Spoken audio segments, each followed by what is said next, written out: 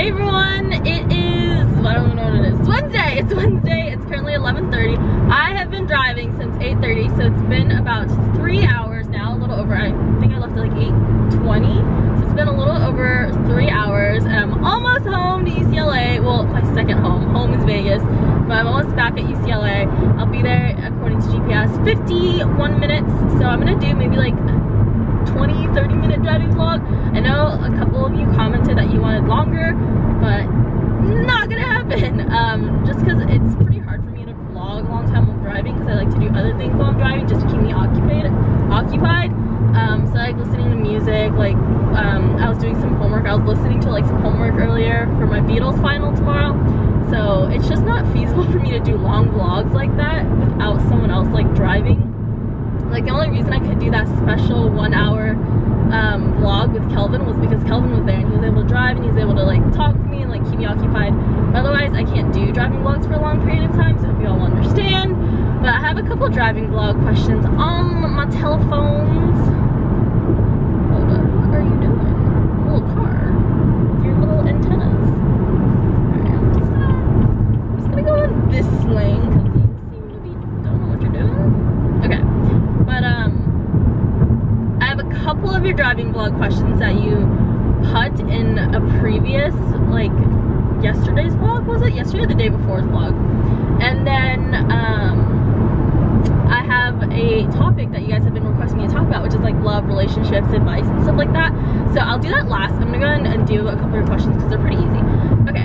Um, this one's saying, please answer, will you be going to Honolulu, Hawaii in the summer? Um, yeah, that's it. Okay. Uh, as of right now, no. It's very, very expensive to go to Hawaii. It's like four or five hundred dollars for flights alone, and then I still have to get hotels, food, like adventure stuff, entertainment related stuff. Like it's just really not feasible. Especially since I really want to go to Tokyo this summer, and Tokyo is like international, and yet it's only like I found flights for like 300 more, so I can go to Tokyo. So we'll see. Of course, I'd love to go to Hawaii. I really, really want to go soon, but it's just very difficult because it is expensive, and I do want to go to Tokyo as well, and just want to travel and do other stuff. And then, of course, I'm not working full time. I'm a full time student, and then I like part time jobs, so it's pretty difficult to save up. Um, so probably not. And the second question is that I have a crush and we watch each other's Snapchat stories. Is this a sign or anything? No? Do people watch each other's Snapchat stories? There's nothing special about that in regards to love. I mean, it could be, but no. Okay, that's just watching someone's Snapchat story. Okay, next question. Relationship, advice on social media when that person follows you back or not follows you or views Snapchat stories a sign. Okay, I feel like this is literally just the same person, like multiple YouTube accounts, like just leaving a bunch of questions on my page because they're all like the same questions. But no, I don't think that's a sign if someone follows you or not. Like sometimes it can be like if it's like out of the blue or it's someone you don't really know, but sometimes they're just following you because they want to follow you or that they know that you have like mutual friends or people that like also follow you or that you have cool content like whatever the reason is there could be yeah like a hundred reasons for a person following you on social media or watching your snap stories. That doesn't mean that they like you. You know I mean it could be but there's so many other options. You can't just pinpoint on that. Next person asks what does it mean to do what does it mean to do a, a humongous driving vlog will it be over an hour no I just answered that question um, you should also do driving karaoke and a Vietnamese vlog. I do want to do a Vietnamese vlog. I don't know when I'm going to do that. But I'm not doing um, carpool karaoke anymore because I got a copyright strike last time. So, or a copyright claim, not a strike. A strike I would have been devastated. But a copyright claim, so I'm not doing that. That's why like when I drive or do driving vlogs, I never play music in the background. And I like listening to music when I drive. So that's why I do short driving vlogs because I can't play music with you guys. Um, and how often do you honk your horn and do people honk at you a lot?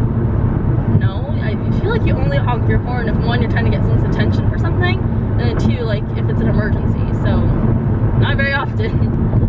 Um, next question is How do you make driving from Vegas to LA so easy and not stressful? It was definitely hard the first couple times, but now I'm, I feel like I'm so used to doing it. And I know like what I'm capable of. So I know that like, or like I know which parts of the road or like of the journey, the drive is like really hard for me. Like the first hour is super hard for me because it's literally just plain desert. So there's nothing to look at and you're going in a straight line. So that gets really boring. So I need like super good music or I'll have like my laptop open with like a TV show playing in the background so I can follow along. Because that's always the hardest part for me. And then the middle of the stretch, it the lanes merge into two. And then that's kind of fun for me because I'm always trying to like go fast and like not really fast, but like you're kind of navigating your way through people or like those huge big semi trucks.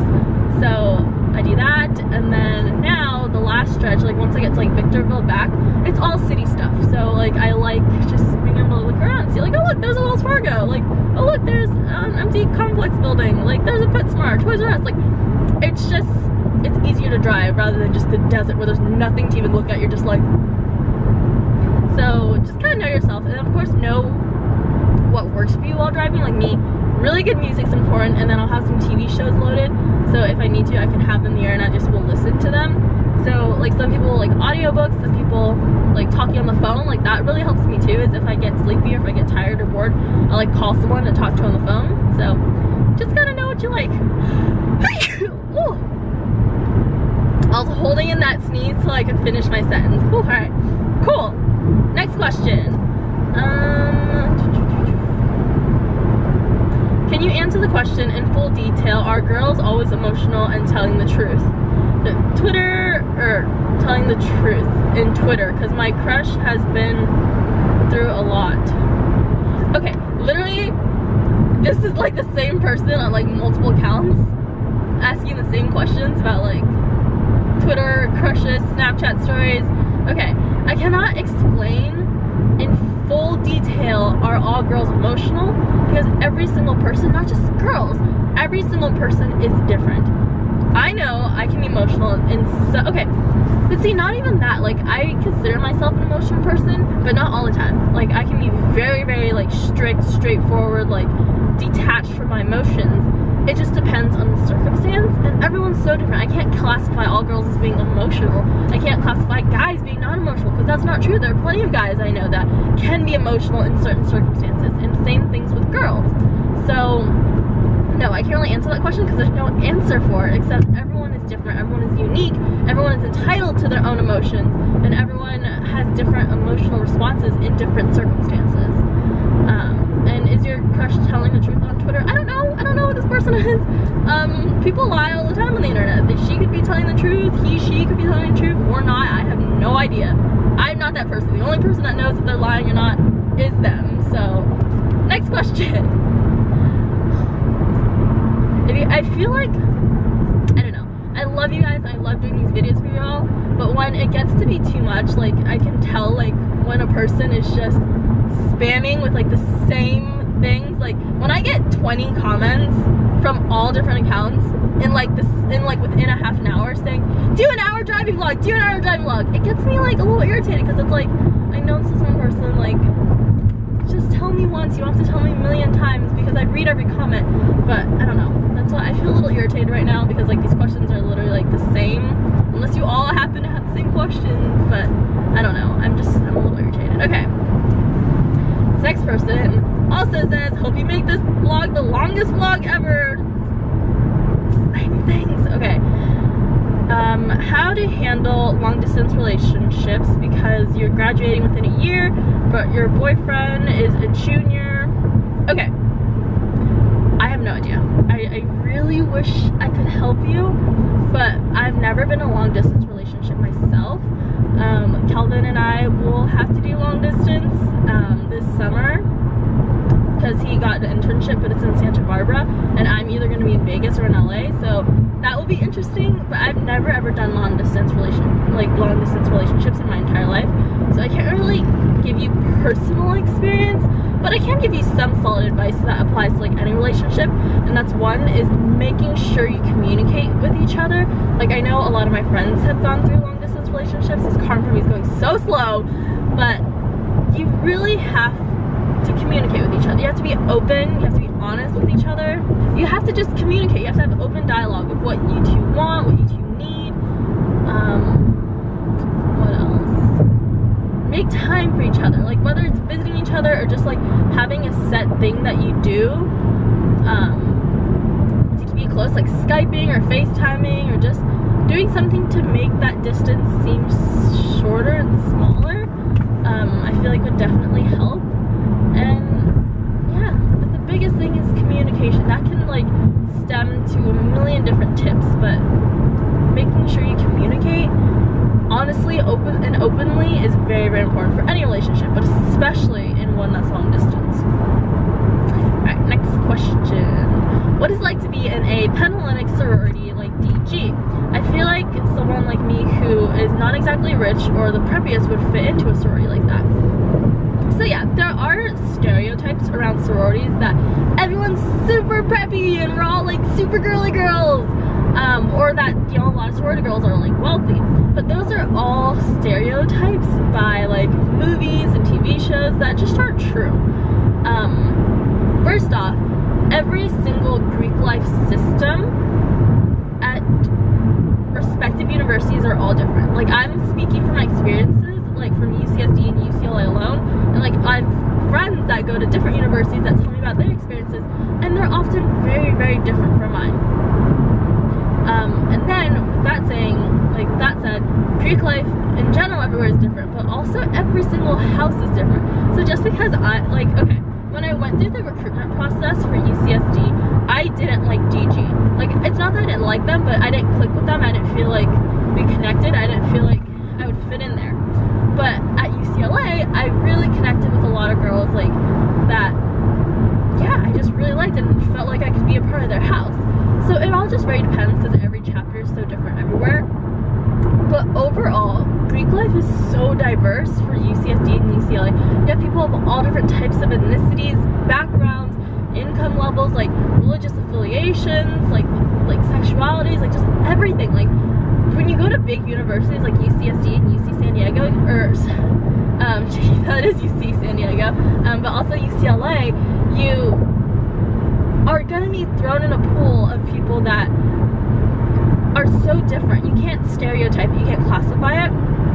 And yes, although there are a lot of girls that are preppy and girly in sororities, that's not the case. Like I know in my house specifically, like in DG, we're super diverse. We have some edgy girls, we have some rocker ones, we have like some like jet set travelers, like just hipster girls. Like we have all types of girls, and our sorority is super diverse, and that's like why I love our sorority is that we're just not one type of person.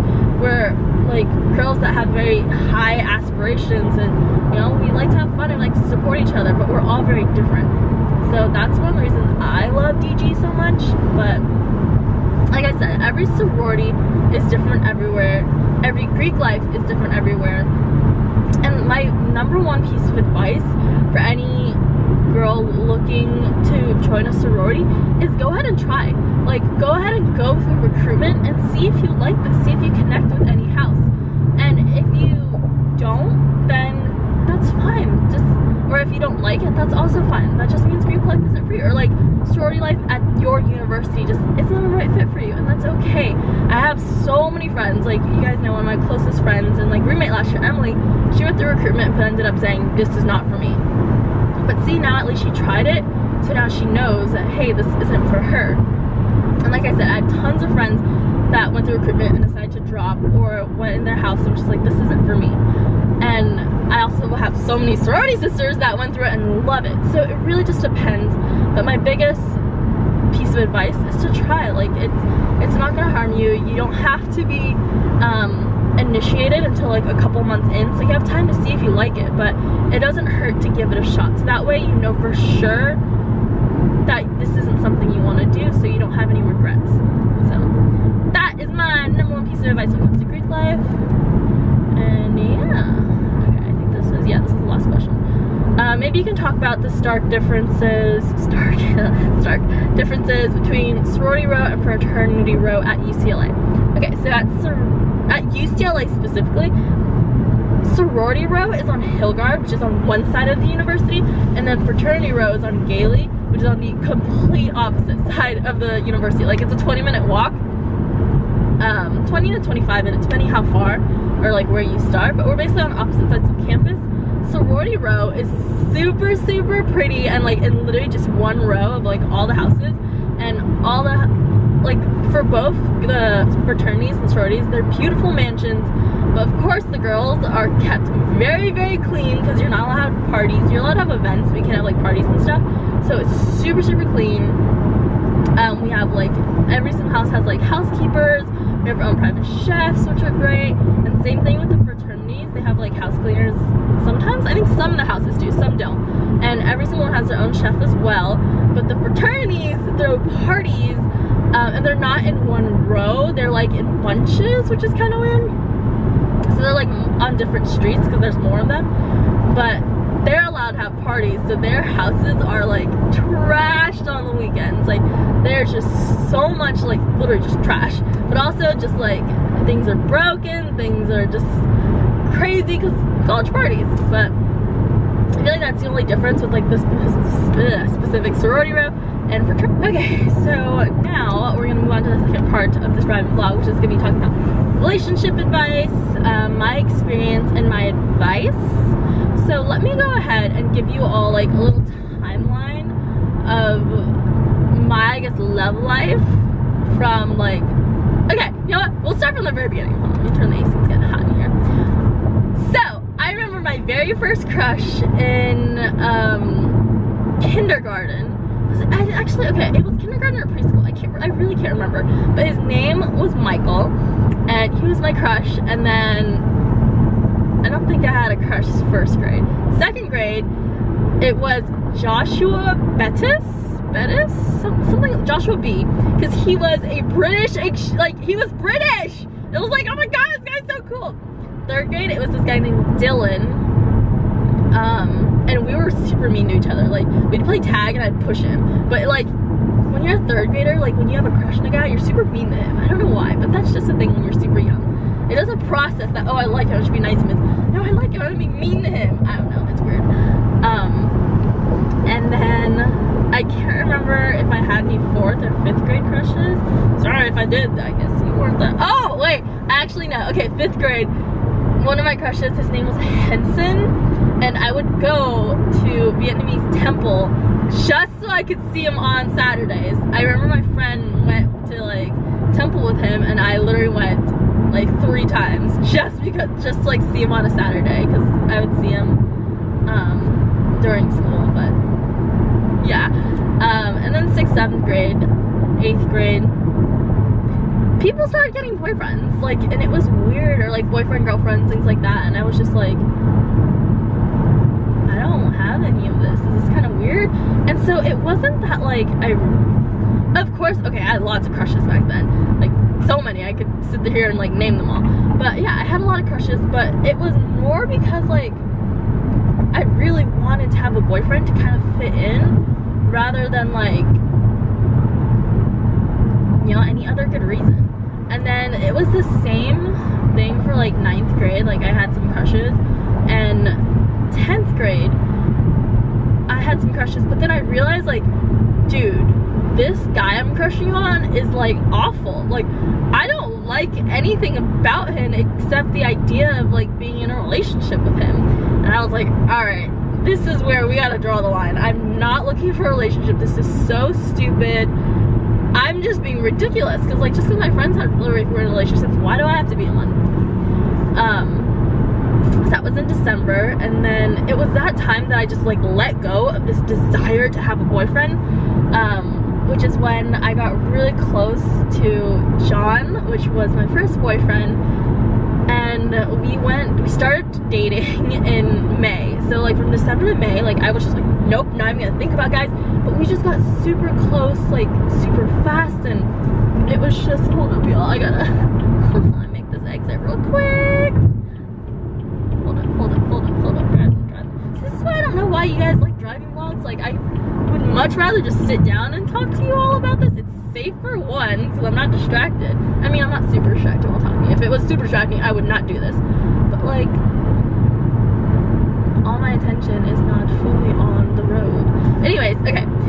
Um, so yeah, John and I started going out and John is like to this day is still like one of the most like important people in my life.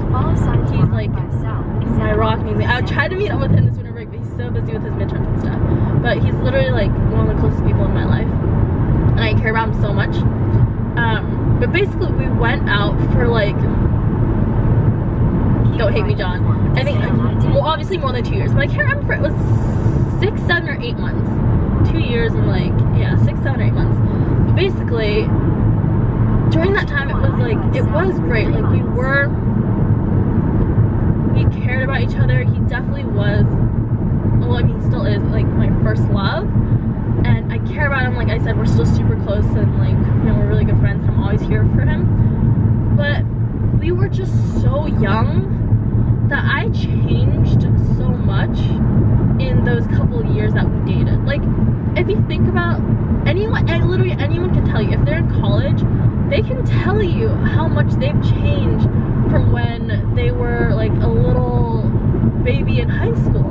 And for me, I changed so much from sophomore year to senior year of high school and going into my freshman year of college. I changed just so much. And it unfortunately just ended up not working out because of all the different changes. We just changed as people and it wasn't going to be long term. Now, after this, I realized that being in a relationship is super it's uh, it's a obviously it's a really big hold on my blinker will turn off okay. It's a super big obviously commitment but the type of person i am when i'm in a relationship i give like all of myself to the, the relationship. Like emotionally financially like time wise like everything is so that's what you're so heavily invested when you're in a relationship. So I realized that from that moment after my breakup with John that I did not want to be in another relationship unless it was going to be with someone that I can legitimately see myself marrying. And I know that sounds super scary, but why? It goes back to like why I just had all these crushes and liked all these guys and wanted to be in a relationship to be in a relationship.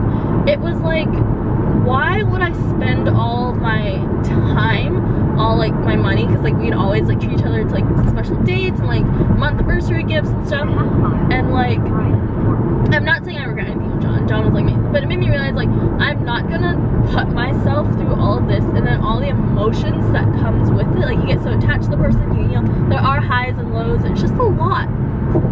If I cannot see myself actually ending up with this person. If I'm doing it for fun, like people, I don't, I really, really don't understand people who date for like two, three weeks and then like break up. Like, why are you doing that? You should have done the extensive research to see if this would even work for you to jump into a relationship.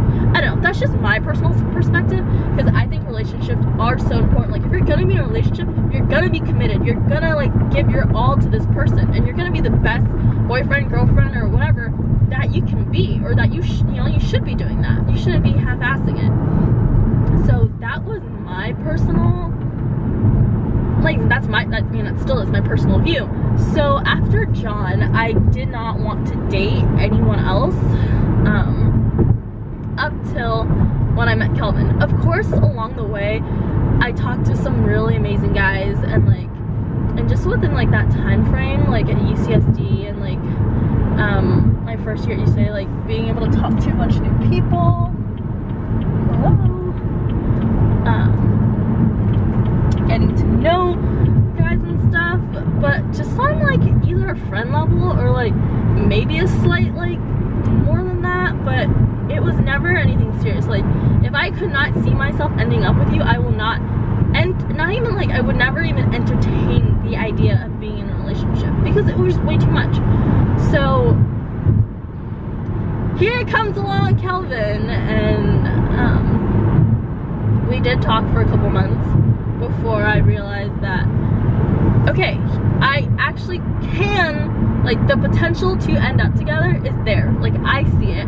And then so that that's when I was like for me myself, I can be in a relationship with Kelvin because I see the potential of us making it like whether regardless of whether we do or not like i do see the ability and like it's there like i can see it happening you know and that's when i was like okay this even then i was like very hesitant because i was like i'm not sure oh you silly billboard cute um but even then i was still very much iffy because i was just like i don't know I really like I'm almost done with college. I don't know if I want to be in a relationship right now because it is going to be a lot of my time. It's going to, you know, I'm not to be single in college like or my last two years or like year and a half of college or whatever. Year and however long. But I thought about it and I was just like, yeah, no, I I can see this working out. So that's when like I was like, all right, let's do this. So it all depends on you personally but that's my personal view is and that's like my love life up till now i gave you a little like tidbit of what i think so now i'm just gonna talk more about like what else i think and that is just don't when you go looking this is like my this is like a piece of advice that i literally give to all my best friends when or like just all my just close friends or even friends in general all the time when it comes to like relationships or like them looking for people.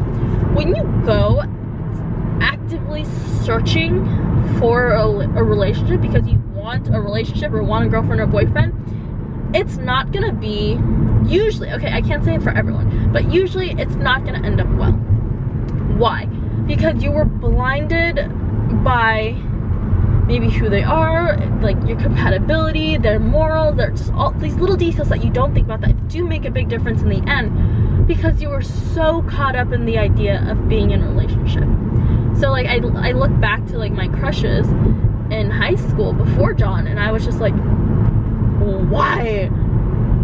I did find them attractive. I didn't think they were like inspirational, like super smart or like super passionate or just like had similarities with me. But I had a crush on them and would talk to them because I wanted a like I wanted a boyfriend so badly. But why? Like why do that when if that person if you don't really like that person or if you don't really have a lot in common or if you guys aren't compatible, why on earth are you trying to talk to them and be in a relationship with them? But when you let it come naturally and just that crush and that relationship, like that desire to be a relationship, comes out of something deeper, like comes out of compatibility, good memories, like just right personalities, like good adventures, just things like that. It changes things. So like the two like most important relationships in my life have come so naturally because I was not looking for a relationship at all.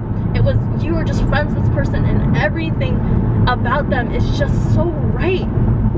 And that's what happened with me and John and me and Kelvin. So that's why I, and, and not only like just me, but a lot of my friends, like the happiest relationships I know came out of not a desire to find a relationship, but just whether you became friends or like you first were attracted to each other and then you went on a bunch of dates, like regardless, it was it was natural. It wasn't forced. It wasn't out of nowhere.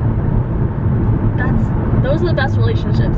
Like I literally I think about my roommates, like Rachel and Laura and their boyfriends, like just everything came naturally. Like you might not be looking for a relationship, but it happens. And you find the right person or you find a very great person.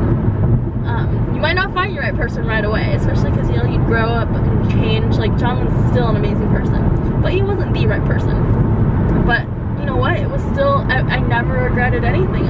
Like it was so great. We had a great two years and six, seven, eight months. Sorry, John. um, and it was great.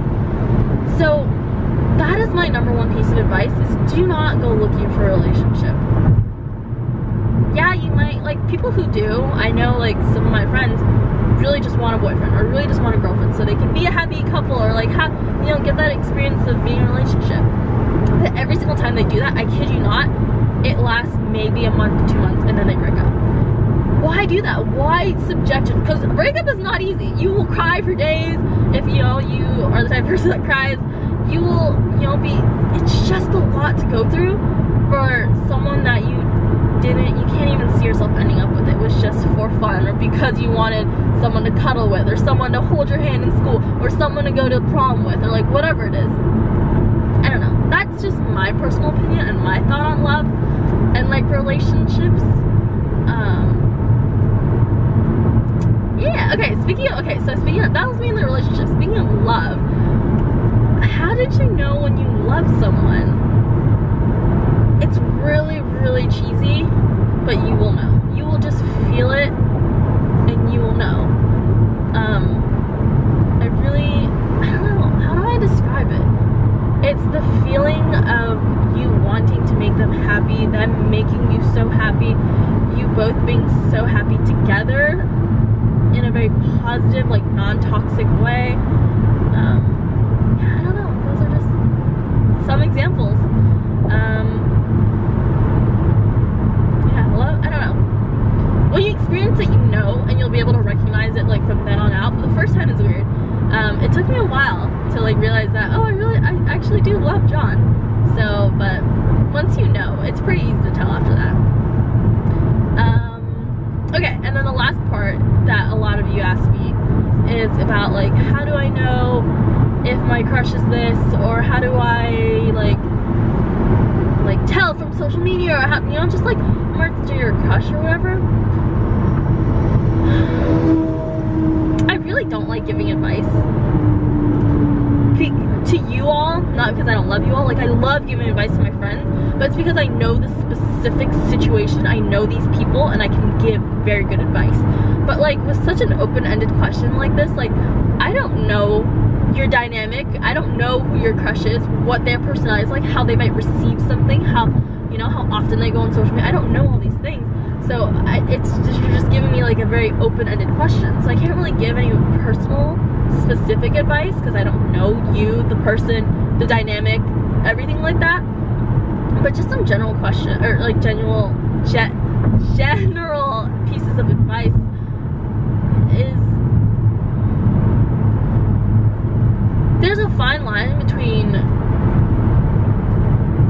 not being able to take a hint and trying. Like you can try to see if this person likes you or like to kind of get them to like you. But again, I believe in the whole everything comes naturally. But also there's a fine line of you pushing it and not getting their hints or their signs that, you know, maybe they just want to be friends or maybe they don't feel the same way or it's just something that you have to gauge for yourself. And in all, in like worst case scenarios, just ask. There, there's nothing wrong with being upfront. That way you know. That way you don't have to beat around the bush. You don't have to feel like confused or just, I don't know. It's just, it's just easy to ask. All right, I'm very close. I'm like 17 minutes away from UCLA because we had traffic. Um, what else? But yeah, just, just ask. Um, I don't know. It's so hard. I can't give you all specific advice because I don't know your specific situation, so I'm sorry. But it's hard because at the same time, like relationships, love, like crushes and stuff, it's very complex, but it's simple at the same time. You know, you feel it, you know when a person likes you back, you know when they don't. It's something that you pick up on, or that you can pick up on if you just realize it. So, but at the same time, it's so complex because there could be a million different reasons, a million different factors, but I know you all are smart. You all are part of the Infinity family. So trust your gut, trust your judgment. Worst case, you ask.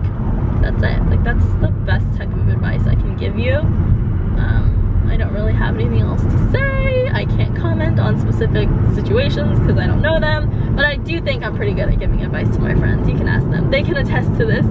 But um, yeah, so that's it for this long driving vlog. I'm so tired.